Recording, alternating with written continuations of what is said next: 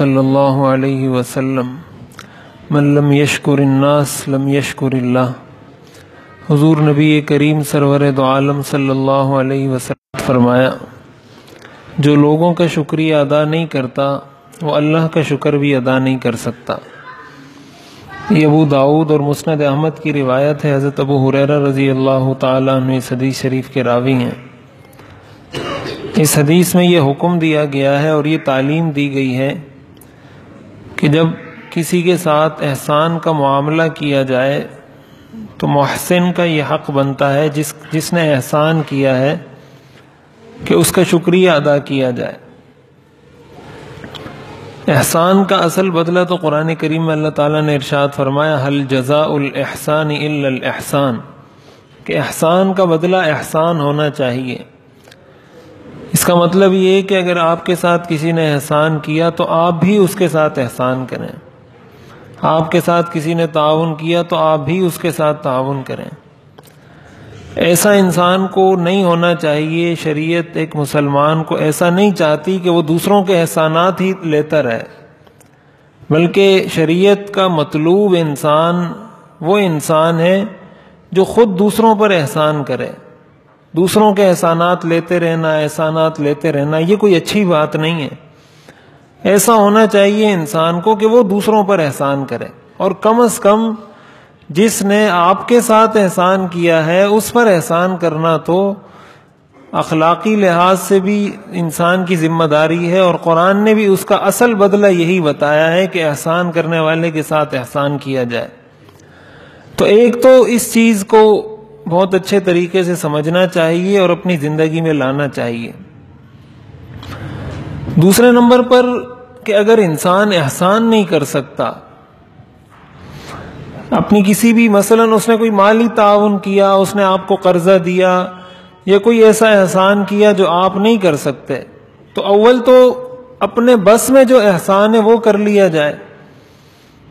جو احسان انسان کر سکتا ہے۔ اگر وہ بھی نہیں کر سکتا، تو کم از کم زبان سے شکریہ ادا کرنا تو اس محسن کا حق ہے۔ احسان کرنے والے کو شریعت اس بات کی اجازت نہیں دیتی کہ وہ اس لیے احسان کرے کہ لوگ اس کا شکریہ ادا کریں۔ قرآن کریم میں اللہ تعالیٰ نے ارشاد فرمایا، انما نطعمکم لوجہ اللہ، لا نرید منکم جزاء ولا شکورا۔ کہ ہمیں نہ بدلہ چاہیے، نہ شکریہ چاہیے۔ اسلام کے دو الگ الگ مطالبے ہیں۔ ایک مطالبہ ہے احسان کرنے والے سے۔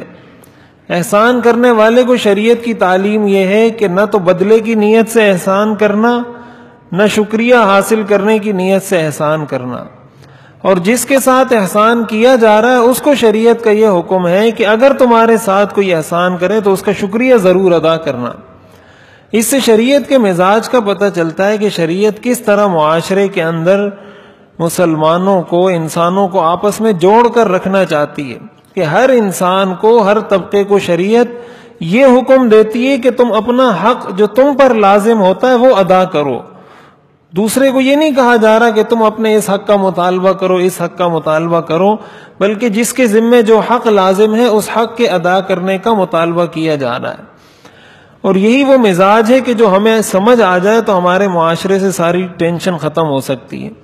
آج دنیا کے اندر ہر انسان اپنے حقوق کا مطالبہ کرتا ہوا نظر آتا ہے۔ شوہر یہ پوچھتا ہے کہ شوہر کے کیا حقوق ہیں؟ بیوی یہ پوچھتی ہے کہ بیوی کے کیا حقوق ہیں؟ اولاد یہ پوچھتی ہے کہ اولاد کے کیا حقوق ہیں؟ والدین یہ پوچھتے ہیں کہ والدین کے کیا حقوق ہیں؟ حالانکہ اگر ایسا ہوتا کہ شوہر یہ پوچھتا کہ بیوی کے کیا حق حقوق ہیں اور بیوی یہ پوچھتی کہ شوہر کے کیا حقوق ہیں، تو سب کے حقوق ادا ہو جاتے ہیں۔ اپنے حقوق کا جائز مطالبہ کرنا شریعت میں منع نہیں ہے، لیکن یہ شریعت کا مزاج نہیں ہے۔ مزاج یہ ہونا چاہیے کہ انسان یہ کوشش کرے، یہ دیکھے کہ میرے ذمے میری بیوی کا کیا حق ہے، میری اولاد کا کیا حق ہے، رشتہ داروں کا کیا حق ہے، پڑوسیوں کا کیا حق ہے، ماتحت لوگوں کا کیا حق ہے، بڑوں کا کیا حق ہے۔ اور میں ان حقوق میں سے کون کون سے حقوق ادا کر رہا ہوں؟ اگر ہر انسان کی معاشرے میں یہ سوچ پیدا ہو جائے، کسی کو اپنا حق مانگنے کی ضرورت ہی نہیں پڑے گی، سب کے حقوق ویسے ہی ادا ہو جائیں گے۔ تو آپ نے اس حدیث میں یہ فرمایا کہ جو لوگوں کا شکریہ ادا نہیں کرتا، وہ اللہ کا بھی شکریہ ادا نہیں کر سکتا۔ اس لیے کہ لوگوں کا احسان اور لوگوں کا انعام تو بہت معمولی ہوگا، بہت چھوٹا ہوگا، بہت کم ہوگا۔ تو جب اس نے اتنے چھوٹے احسان کا بدلہ نہیں ادا کیا، تو اللہ کا اتنا بڑا احسان، اس کا کیا شکریہ وہ ادا کرے گا؟ اور بعض محدثین نے اس کا مطلب یہ بھی لکھا ہے کہ اللہ تعالیٰ ایسے انسان کے شکر کو قبول ہی نہیں کرتے، جو لوگوں کے احسان کا شکریہ ادا نہیں کرتا۔ یعنی اگر اللہ کا شکر تو ادا کرتا ہے، لیکن لوگوں کے احسانات کا شکریہ ادا نہیں کرتا، اللہ تعالیٰ ایسے انسان کے شکر کو قبول ہی نہیں فرماتے۔ تو گویا انسان کے شکر کی قبولیت کی شرط یہ ہے کہ وہ لوگوں کے احسانات کا بھی شکریہ ادا کرے۔ تو اس لیے ایسے کسی بھی موقع پر کوئی کوئی کچھ بھی احسان ہو کسی کی طرف سے، تو شکریہ کے کچھ کلمات کہہ دینے چاہیے۔ اور شکریہ کے بہترین کلمات جزاک اللہ خیرہ ہے۔ شکریہ کہنے میں بھی حرج نہیں ہے، وہ بھی جائز ہے۔ لیکن جزاک اللہ خیرہ کہنے میں اس احسان کرنے والے کا زیادہ فائدہ ہے۔ اس لیے کہ آپ اس کو دعا دے دیتے ہیں شکریہ میں اس کا شکریہ تو ادا ہو جاتا ہے۔ لیکن مزید کوئی اضافی دعا، مزید کوئی اضافی احسان آپ نہیں کرتے، جبکہ جزاک اللہ خیرہ میں اضافی احسان اس کے ساتھ ہو جاتا ہے۔ تو بہتر تو یہ ہے کہ انسان یہ دونوں کلمات ہی کہہ دے شکریہ بھی کہہ دے جزاک اللہ خیرہ بھی کہہ دے تاکہ اس کا اچھے طریقے سے حدیث شریف کے اندر آتا ہے منسن الیہ معروف فقال لفاعلہ جزاک اللہ خیرا فقد ابلغ فی السنا کہ جس کے ساتھ کسی نے احسان کیا اور اس نے اس احسان کرنے والے کو جزاک اللہ خیرہ کہا۔ جزاک اللہ خیرہ کا مطلب اللہ آپ کو بہت بہترین بدلہ عطا کرے۔ آپ نے فرمایا اس نے اس احسان کرنے والے کی بہت اچھی تعریف کی۔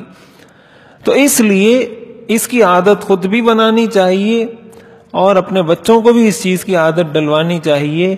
ایک تو یہ کہ انسان کم سے کم اپنے آپ کو اس بات کا عادی بنائے کہ دوسروں کے احسان لے۔ بلکہ کوشش یہ ہونی چاہیے کہ دوسروں پر احسان کرے۔ اور اس کو ان پر احسان اس نیت سے نہ کرے کہ ان پر احسان جتلائے۔ بلکہ شریعت کے ایک حکم کے طور پر کہ میں کسی مسلمان کے ساتھ اچھائی کر رہا ہوں۔ اور اگر اس کے ساتھ احسان کا معاملہ ہو تو دوسروں کا شکریہ بھی ضرور ادا کرے۔ اللہ تعالی ہمیں عمل کرنے کی توفیق عطا